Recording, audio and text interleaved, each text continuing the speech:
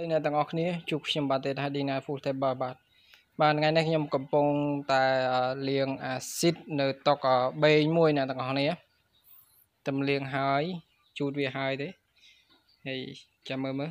ព្រោះព្រោះថាវាបាក់គំនៅចុងកែមកន្លែងកន្លែងនេះអ្នកទាំងអស់គ្នាសាច់ខែវនឹងសស្អាតទេអត់មានបញ្ហាអីទេតែបាក់គំនៅកន្លែងចុងចុងខាងហ្នឹងហើយនៅខាងនេះមើលឥឡូវវាកំពុងតែដំណើរការកាត់ហើយ ក្លិនឈួលមែនតើអ្នកនរនេះអានេះដូចជាពួកប្រភេទកាត់នេះចឹងអ្នកទាំងក្លិនដូចប្រភេទកាត់អឺស៊ីតបកស្បែកបកឈើអីហ្នឹងឈួលមែនតើយើងឲ្យវាកាត់ចឹងណាកន្លែងក្រៅហ្នឹងអត់សូវមានទេយើងកាត់តិចតិចមក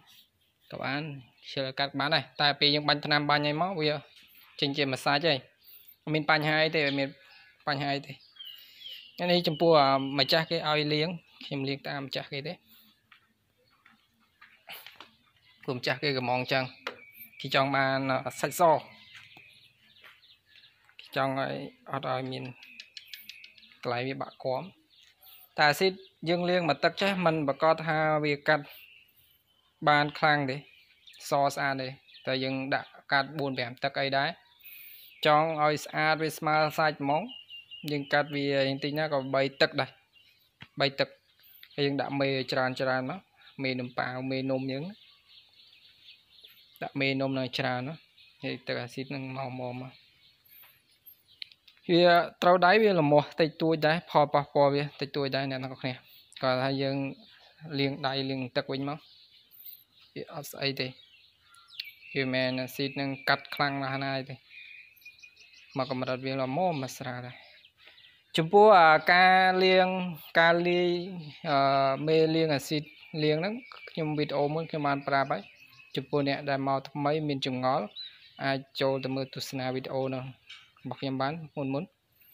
ដែលខ្ញុំមានរៀបរាប់ប្រាប់ពីរបៀបលាយអាស៊ីត ហើយចំពោះអ្នកថ្មីដែលចូលមកទស្សនាវីដេអូនេះសូមកុំភ្លេចជួយចុច Subscribe នៅបេតុងនៅ Channel នេះផងដើម្បីទទួលបានវីដេអូរបស់ខ្ញុំជារៀងរាល់ថ្ងៃតែម្ដង